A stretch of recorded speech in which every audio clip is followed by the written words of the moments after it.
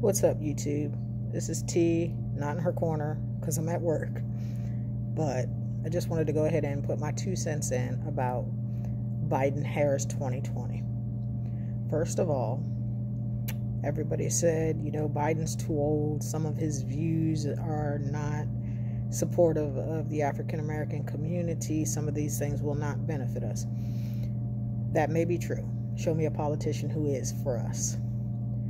So we are always at the mercy of picking the lesser of two evils. And right now, I'd vote Benji or Scooby Doo in before I would love to see Trump in office again. So at this point, I vote for Casper the Friendly Ghost over Donald Trump.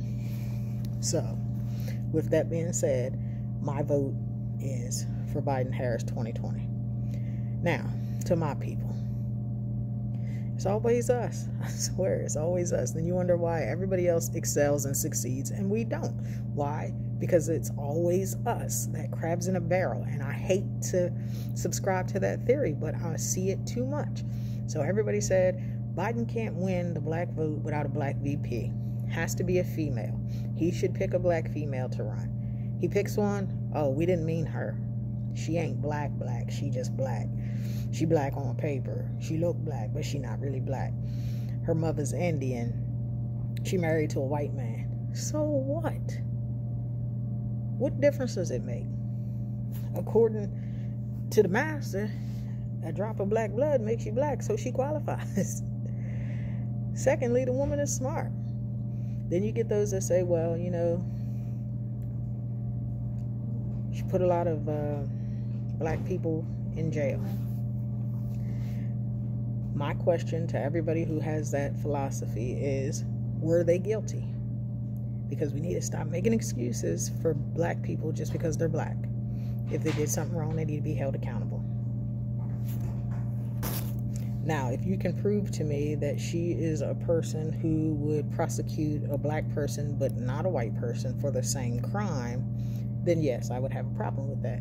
But if you're saying she overtly prosecuted black people, is that what was put on her desk? Were they guilty? Did she do her job? If those answers are yes, then I have no problem. And you shouldn't either because she's supposed to do her job. She's not, justice is supposed to be blind. That includes color. I mean, seriously, let's face it, people. You're never going to find a politician that you agree with 100%. If you do, that would be very rare and probably strange, and you might be lying. So take those things into consideration.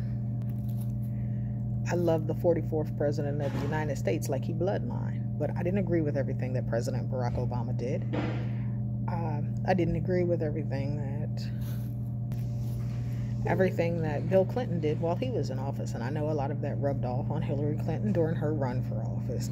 And I didn't agree with every position that she took either, but I voted for her. Because as I said, we're picking the lesser of two evils, and anybody who votes for Donald Trump in my book is evil, or crazy, or both, or just naive. I don't know. So that's my two cents. I'm voting Biden Harris 2020 because, unlike Trump and his supporters, we really do want to see America be great. Not racist and hateful and sexist, but great.